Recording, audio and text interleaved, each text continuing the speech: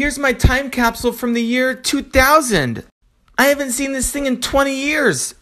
Let's see what's inside. Okay, here we go. Okay, first item. Oh, my Bart and Santa's Little Helper toy. I remember this. My Bart Simpson watch. I totally remember this thing.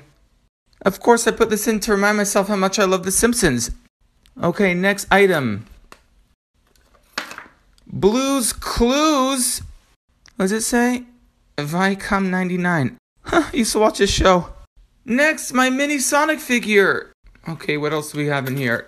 Okay, next item we got these duck wooden thing. I don't really.